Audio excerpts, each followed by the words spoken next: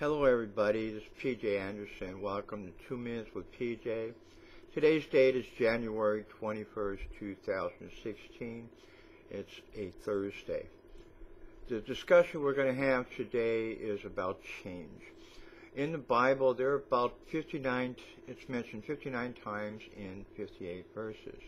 Of course, again, I'm not going to share all these verses with you, but I'm going to select at least four uh, to share with you.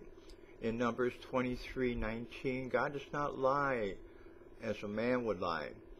He doesn't change his mind like humans do. He, has he ever promised without doing what he has said? In Acts 3:19, now change your mind and attitude to God and turn to him so he can cleanse away your sins and send you wonderful time of refreshments from the presence of the Lord.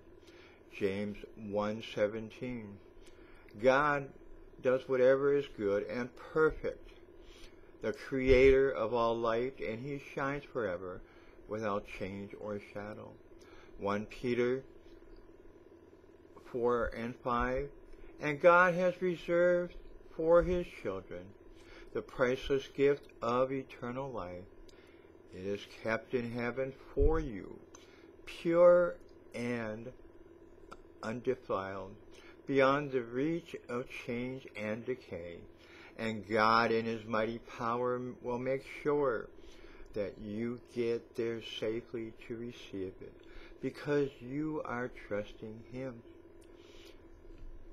It will be yours in the coming last day for all to see.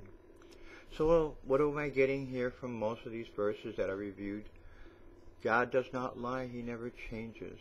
We're the ones that change. God keeps his love and shows his love and did so by giving his all to his one and only son, Jesus Christ. Through Jesus Christ, our relationship with God has changed. It has, we are back with him. God gave us the precious free gift of salvation. We must love God with our whole heart, mind, soul, and strength. We need to change and watch what we say and change from our evil ways. I don't know about you, but for me, change is a hard thing. Sometimes I don't like it, and I know many of us are in the same boat.